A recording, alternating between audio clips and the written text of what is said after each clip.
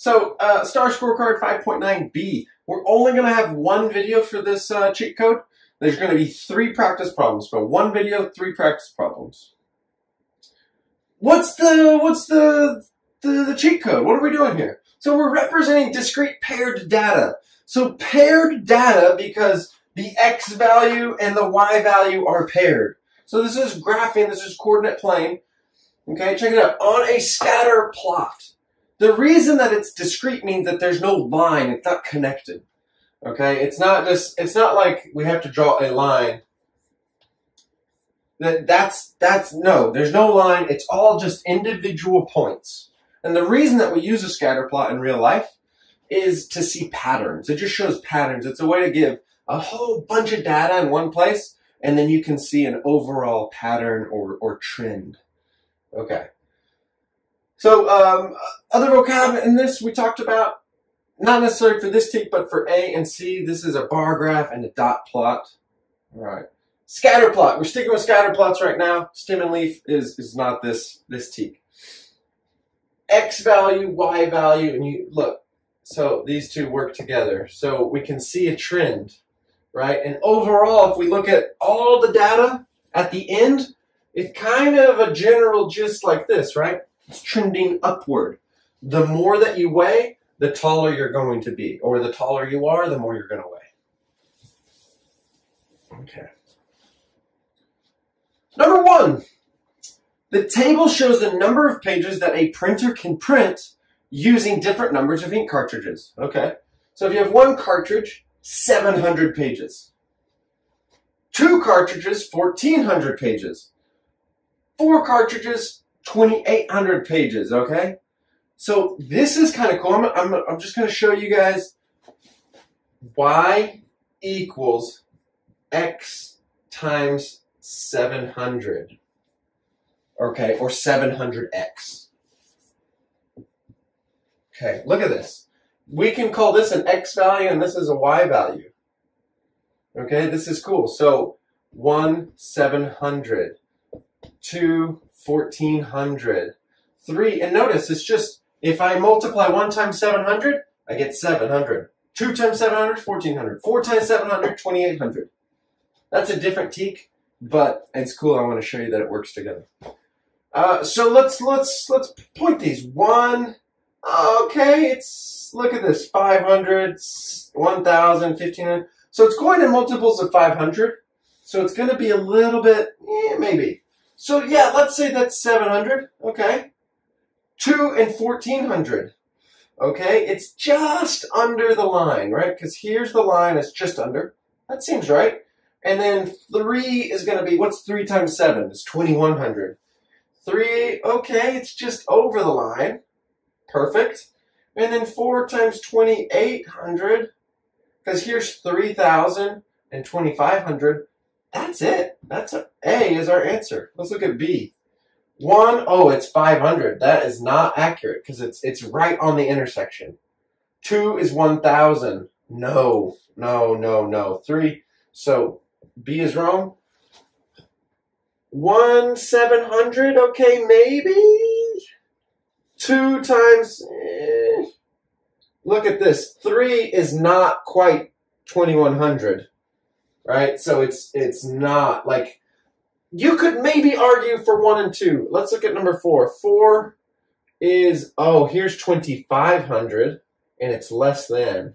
So no, two four is twenty eight hundred, which is more than twenty five hundred. So it is A. It's not B, not C. Be careful. Be careful because you could argue with some of these, but one of the points is going to be clear as day. Okay. And so you got to graph all of them to make sure.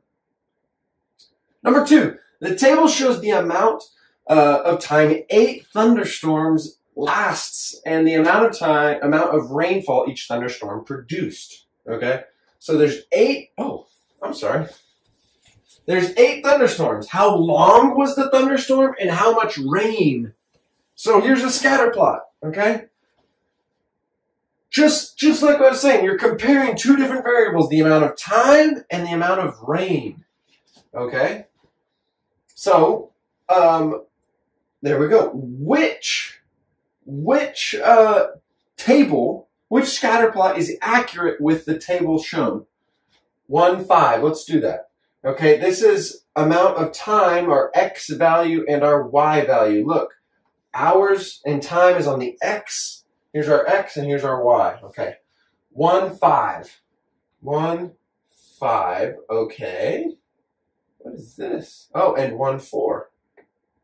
And 1, 4. Look, 1, 5 and 1, 4. Okay? So we have 1, 4 and 1, 6. You see how 6? I don't see a 1, 6, so this is wrong. 1, 4 and 1, 5. Because look, 2, 4, 6, 8. So in the middle of 4 and 6 is 5. So that's accurate. Okay, and then look, 1, 4, and 5. Okay, we're good. We're good there. 2, 8. Let's go. 2, 8. Okay, look, 2, 8, 2, 6, and 2, 10. 2, 8, 6, and 10. That's accurate. A, we're still good.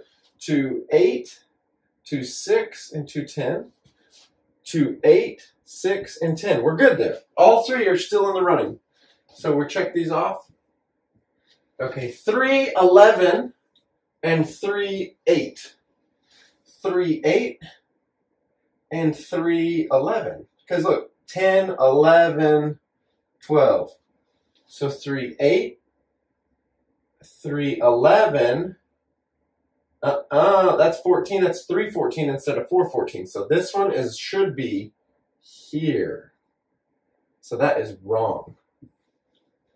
3, 8, and where's our 311? 311 should be here. That's wrong. Our answer is A. Okay, and then 414, let's let's look at it. 414, 4, 14. There we go.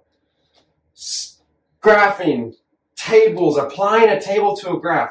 Mark up your test. Use your pencil, use your highlighter, use your colors, draw. So this is the last question of the video. Um, and we'll, we'll, let me erase, we'll get started.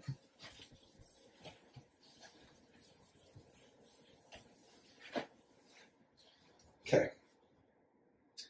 The table shows the high temperature and the numbers of snow cones. I guess it makes sense, right? The hotter, the more snow cones. We'll find out. Uh, this table shows the high temperatures and the number of snow cones sold at a snack bar on seven days. Okay, numbers sold and the temperature. So there's seven points, right? Uh, one, two, three, four, five, six, seven. Makes sense. Okay. So there's seven points, and each point is comparing the temperature x value. So here's our x value, and here's our y value.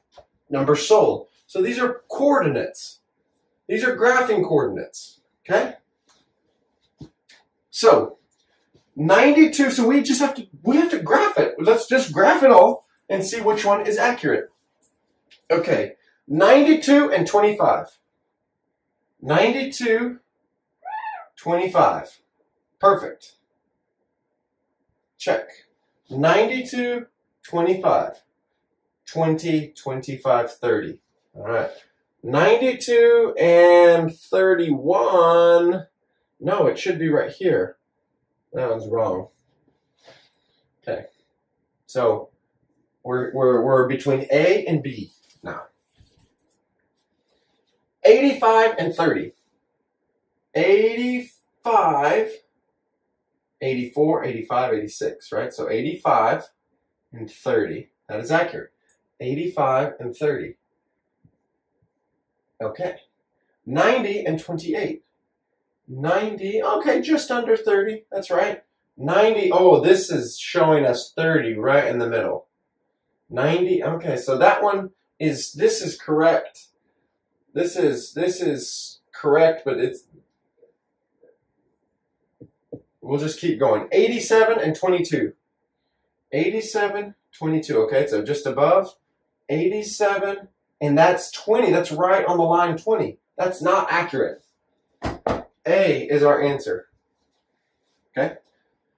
This is it, guys. Uh, you gotta go slow. You got look at the details. Okay? It's just above the line. It's right on the line. It's right on the line. Nah, we can't. We can't do that. Okay. So let me know if you have any questions. I hope you guys are enjoying these films. See you next time.